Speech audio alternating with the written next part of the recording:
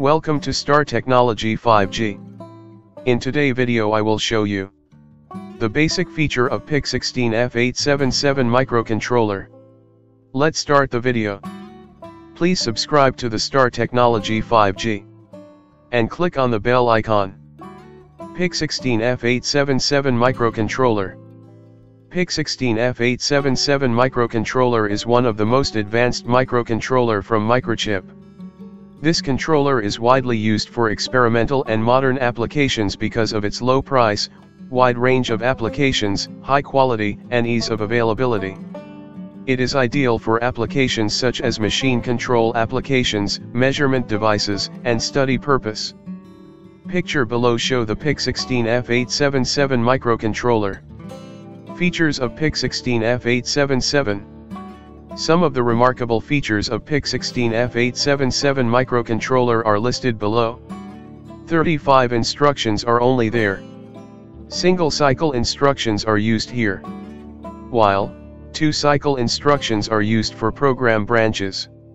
Data memory RAM of 368 by 8 bytes, EEPROM data memory of 256 by 8 bytes. Pin out compatible to other 28 pin or 40 and 44 pin. Voltage range of 2 to 5.5 volt. Low power, high speed flash technology.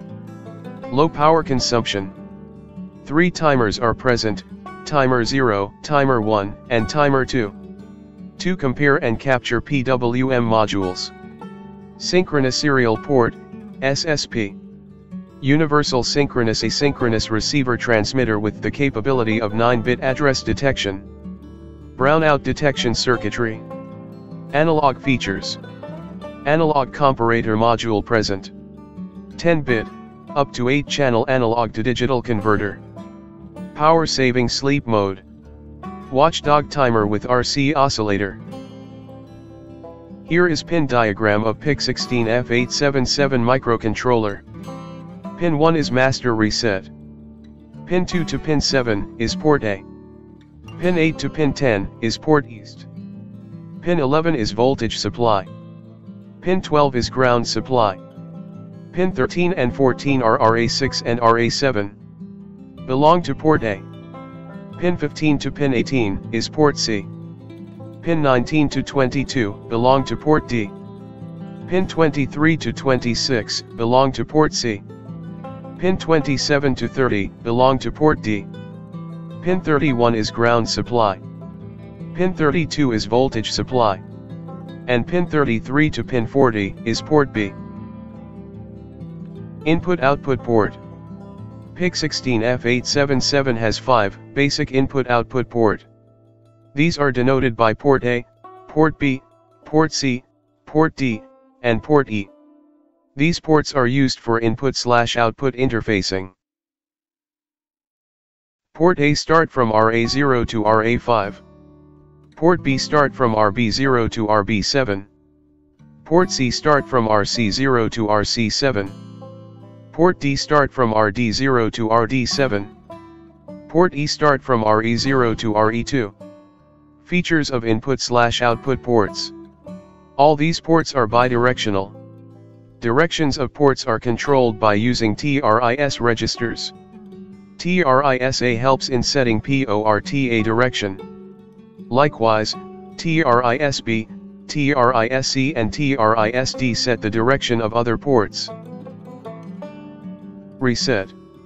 Whenever a microcontroller is running with any software, there is a possibility of the hanging of the software. Or due to spin lock, deadlock, and the program will not run so that the main task that this microcontroller was doing will stop. When we reset any microcontroller, it will change the stack pointer address to 0x00000000 startup point memory, so that it can start from the main of the bootloader again. How to reset? The microcontroller can be reset during one of the following operations, power on reset, master clear reset, watchdog timer reset, brownout reset, and reset instruction. Each reset will be having a memory address defined in the vector table of the microcontroller document. External reset. In some applications the microcontroller may have to be reset externally by pressing a button. Figure shows the circuit that can be used to reset the microcontroller externally. Normally the master clear input is at logic 1. When the reset button is pressed, this pin goes to logic 0 and resets the microcontroller. You can see in the diagram master clear pin connected with resistor and a push button. In normal operation this pin in at logic 1, plus 5 volt. When we press the switch it will set the pin at logic 0 ground voltage and microcontroller get reset. And start the program from bootloader. Clock source. Every microcontroller needs a clock source. The CPU, the memory bus, the peripherals clock signals are everywhere inside a microcontroller. They govern the speed at which the processor executes instructions, the baud rate of serial communication signals, the amount of time needed to perform an analog to digital conversion, and so much more. Clock source can be external like crystal oscillator or internal like RC oscillator. Different microcontrollers will have different options for clocking. All of this clocking action of the clock signal, namely the oscillator. Therefore, you need to make sure that your oscillator can support whatever performance you expect from your microcontroller. How to connect a crystal with microcontroller. Figure shows how to connect a crystal with microcontroller. The capacitor values depend on the mode of the crystal and the selected frequency. Table gives the recommended values. For example, for a 4 MHz crystal frequency, use 15 pF capacitors. Higher capacitance increases the oscillator stability but also increases the startup time. Mode. Frequency. Capacitor C1 and C2 and its value in PF LP mode.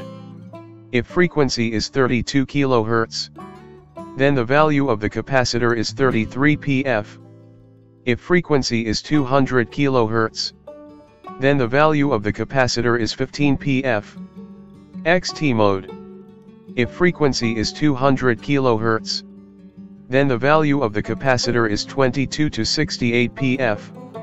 If frequency is 1 MHz, then the value of the capacitor is 15 pF. If frequency is 4 MHz, then the value of the capacitor is 15 pF. HS mode. If frequency is 4 MHz, then the value of the capacitor is 15 pF. If frequency is 8 MHz, then the value of the capacitor is 15 to 33 pF. If frequency is 20 MHz, then the value of the capacitor is 15 to 33 pF. If frequency is 25 MHz, then the value of the capacitor is 15 to 33 pF. Here is the circuit diagram how we connect external crystal with microcontroller. External crystal connect with OSC1 and OSC2 pins of the microcontroller. These two capacitors are connected with crystal and other side of the capacitors are connected with ground voltage. Thanks for watching. Please subscribe to the Star Technology 5G. And keep watching Star Technology 5G.